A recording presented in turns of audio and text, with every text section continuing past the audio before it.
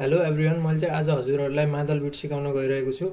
अनि यसको लागि चाहिँ स्ट्रमिङ प्याटर्न युज हुने भनेको चाहिँ down up mute down up use हुन्छ। अनि यदि हजुरलाई म्युट गर्न आउँदैन भने चाहिँ down up down up down अपवाला strumming pattern use गर्न सक्नुहुन्छ। अनि यो प्ले गर्दा चाहिँ यस्तो सुनिन्छ।